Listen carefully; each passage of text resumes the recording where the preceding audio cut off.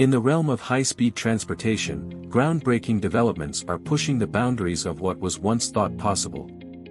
Recent tests have shown that Elon Musk's visionary concept of hyperloops, a new mode of transportation, is becoming closer to reality. I know that there are various companies that are trying to create uh, the Hyperloop, and uh, honestly, I think it's a lot easier than, than people think.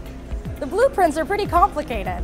Well, blueprints are always kind of complicated, and I mean, yes, there's math, but it's really not that hard. Not to be outdone, China has unveiled its own ambitious take on superfast travel.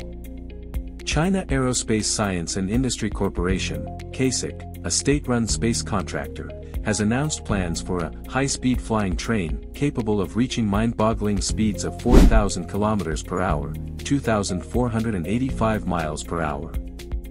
This supersonic ground transport would be three times the speed of sound, four times faster than commercial flights, and 10 times faster than the current fastest bullet train, which happens to be found in China. To address concerns about safety at such incredible speeds, the project's chief engineer emphasized that the acceleration phase of the train would be slower than that of an airplane. Furthermore, he emphasized that this project is distinct from the Hyperloop development in the United States, positioning China's train as the world's first endeavor focused on supersonic ground transport. Could China achieve this astonishing feat of engineering? The nation is investing significant resources and research into the project. The plan is to establish trains that can operate at speeds of up to 1,000 km per hour between regional cities, 2,000 km per hour between megacity clusters, and 4,000 km per hour lines connecting countries participating in China's Belt and Road Initiative. To achieve this, the project team is collaborating with over 20 research institutes from both China and around the world.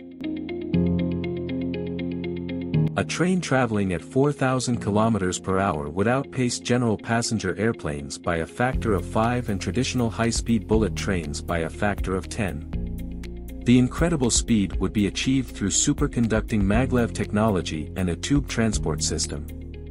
So, how does maglev technology work? Magnetic to tackle this challenge, the developers have embraced the concept of Hyperloop technology, envisioning the train traveling through a vacuum tube to minimize air drag. Safety is undoubtedly a concern at such high speeds.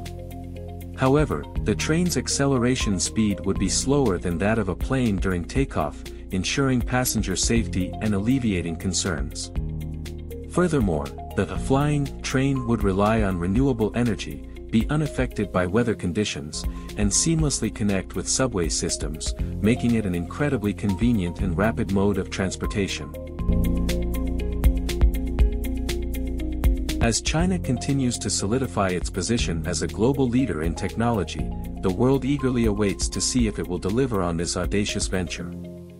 The development of a 4,000 km per hour train has the potential to reshape transportation and set a new benchmark for high-speed travel.